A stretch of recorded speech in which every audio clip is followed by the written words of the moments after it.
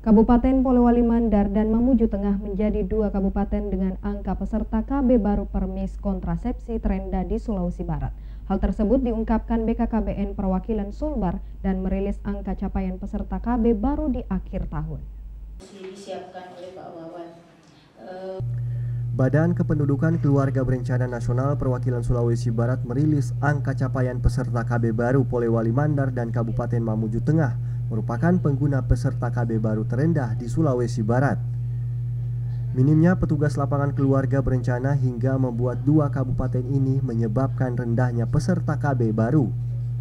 Kondisi tersebut semakin diperparah dengan kualitas dan kompetensi PLKB yang masih rendah, serta termasuk kesiapan pemerintah setempat.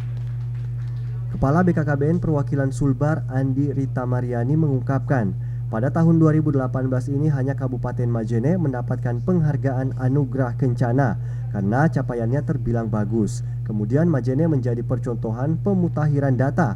Paling bagus dia punya data, mekanisme operasional di lapangan berjalan. Ini kita eh, berikan, ya karena ini capaiannya bagus. Kemudian yang kedua, eh, Majene adalah percontohan untuk pemutahiran data. Majene itu paling bagus dia punya data. Paling bagus PLKB-nya.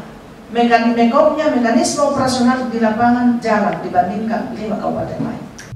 Kabupaten Mamuju Polewali Mandar hanya mencapai 49,02 persen peserta KB baru per mix kontrasepsi sampai bulan November. Sedangkan Mamuju Tengah hanya mencapai 41,1 persen.